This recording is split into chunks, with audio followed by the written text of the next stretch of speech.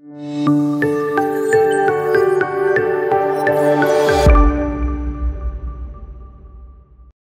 viewers welcome to Rainbow TV ఈరోజు Russia Ukraine మధ్య యుద్ధానికి సంబంధించిన ఆ టాపిక్ ఏంటి? అసలు ఇది జరగడానికి గల కారణాలు ఏంటి? అండ్ అలాగే చాలామందికి ఒక మనసులో ఒక డౌట్ ఉందండి. ఏంటంటే యుక్రెయిన్కి సంబంధించి ఎందుకు భారత్ సపోర్ట్ చేయట్లేదు?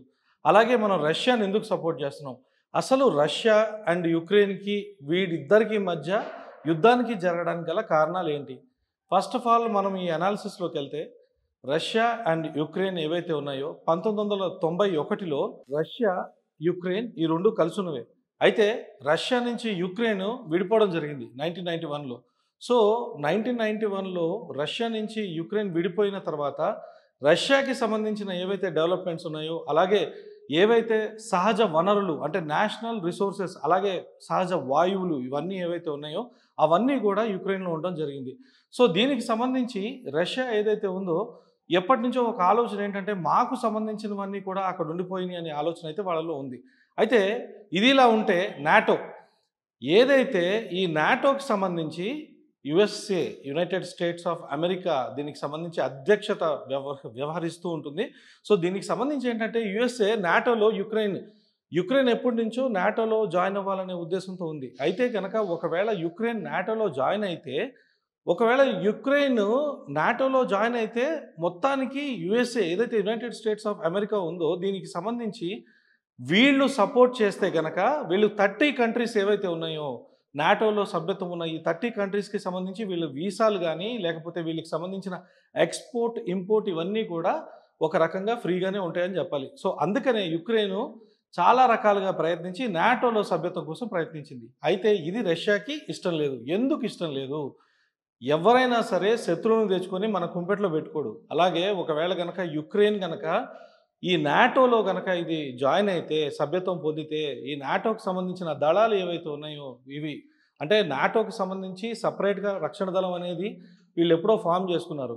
ఒకవేళ కనుక నాటోకి సంబంధించి యుక్రెయిన్ కనుక సభ్యత్వం పొందితే అప్పుడు యుఎస్ఏ ఏదైతే దీనికి సంబంధించిన ఆర్మడ్ ఫోర్సెస్ కానీ లేకపోతే నాటోకి సంబంధించిన దళాలు కానీ అవన్నీ కూడా యుక్రెయిన్కి సపోర్ట్ చేస్తాయి. రష్యా యుక్రెయిన్ ఎంత దూరం ఉంది? చాలా దగ్గర దగ్గరగా ఉంటాయి. సో ఎవరు కూడా శత్రువుని అనేవాడిని తెచ్చి పక్కన పెట్టుకోరు. ఏదైతే యునైటెడ్ స్టేట్స్ ఆఫ్ అమెరికాకి సంబంధించి రష్యా శత్రు దేశం అని చెప్పి ఎప్పటి నుంచో ఉందో దీనికి సంబంధించి ఎప్పుడైతే యుక్రెయిన్ కనుక నాటోలో కనుక జాయిన్ అయితే అక్కడున్న ఆర్మడ్ ఫోర్సెస్ అన్ని ఇక్కడ ఉంటే ఇక్కడి నుంచి రష్యా పైన దాడి ఏమైనా జరుగుద్దేమో ఫ్యూచర్లో ఇలాంటి అవాంతరమైన సంఘటనలు జరగకుండా దీనికి సంబంధించి ఏంటంటే రష్యా ఒక స్టెప్ తీసుకుంది. అదే యుద్ధం. ఆల్రెడీ వార్న్ చేసింది మీరు నాటోలో జాయిన్ అవ్వద్దు. అయినా నాటోకి సంబంధించి వినలేదు. సో దీనికి సంబంధించి యుద్ధం అనేది వీళ్ళు ప్రకటించడం జరిగింది. సరే ఇప్పుడు చాలామందికి ఏంటంటే ఒక క్వశ్చన్ మార్కు యుక్రెయిన్ అనేది భారతదేశానికి ఎప్పుడు కూడా సపోర్ట్ చేయలేదు. ఎందుకు సపోర్ట్ చేయలేదు అని అంటే యుక్రెయిన్ అనేది హండ్రెడ్ అండ్ టెన్ పర్సెంట్ మన ఇండియాకి సపోర్ట్ చేసే కంట్రీ కాదు.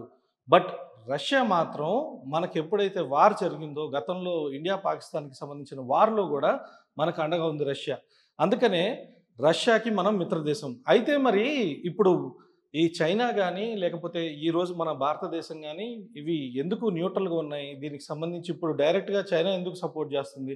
మనం ఎందుకు న్యూట్రల్గా ఉన్నాం? మనం ఎందుకు ఓటింగ్లో పాల్గొనలేదంటే ఇక్కడ ఒక విషయం ఉందండి. చాలా చక్కగా ఒక వ్యూహాత్మకంగా ఒక రకంగా కనుక మనం ఓటింగ్కి దూరంగా ఉంటే ఏదైతే ఒకవేళ మనం ఓటింగ్కి ఇన్ కేసు ఒకవేళ రష్యాని సపోర్ట్ చేస్తున్నామో అమెరికా శత్రువు అవుతుంది ఇక్కడ. సో ఇక్కడ ఎవరిని శత్రు దేశంగా మనం భావించకుండా న్యూట్రల్గా మనం ఏంటంటే ఓటింగ్కి దూరంగా ఉన్నాం. అయితే ఇక్కడ మనం బాగా ఒక విషయం గుర్తుపెట్టుకోవాల్సిన విషయం ఏంటంటే ఈరోజు యుద్ధానికి ఈరోజు దారి తీయడానికి గల కారణాలు మాత్రం హండ్రెడ్ పర్సెంట్ రష్యా యుక్రెయిన్ మధ్యలో ఉన్న ఏవైతే భేదాభిప్రాయాలు అంటే వీళ్ళు నైన్టీన్ నైన్టీ వన్లో విడిపోయిన సందర్భాలు అవ్వచ్చు ఇంకోటి అవ్వచ్చు అండ్ ఇంకో విషయం బాగా గుర్తుపెట్టుకోవాలి రష్యా అనేది న్యూక్లియర్గా చాలా పవర్ఫుల్ కంట్రీ. దాన్ని ఎదుర్కోవడం అంత ఈజీ కాదు. ఎందుకంటే ఇది చాలా పవర్ఫుల్ కంట్రీ బేసిక్గా రష్యా. అండ్ ఇంకోటి మనకి భారతదేశానికి రష్యాకు ఉన్న ఒప్పందం రెండు వేల ముప్పై సంవత్సరం వరకు కూడా ఏవైతే మనకు సంబంధించిన న్యూక్లియర్ వెపన్స్ అవ్వచ్చు అవన్నీ కూడా సపోర్ట్ విషయంలో రష్యా మనల్ని సపోర్ట్ చేస్తూ వస్తుంది అండ్ మన ఫ్రెండ్షిప్ అనేది కంటిన్యూ అవుతుంది. అందుకనే భారతదేశం ఏంటంటే రష్యాకి పూర్తి మద్దతుగా ఉంటూనే ఓటింగ్కి దూరంగా ఉంది.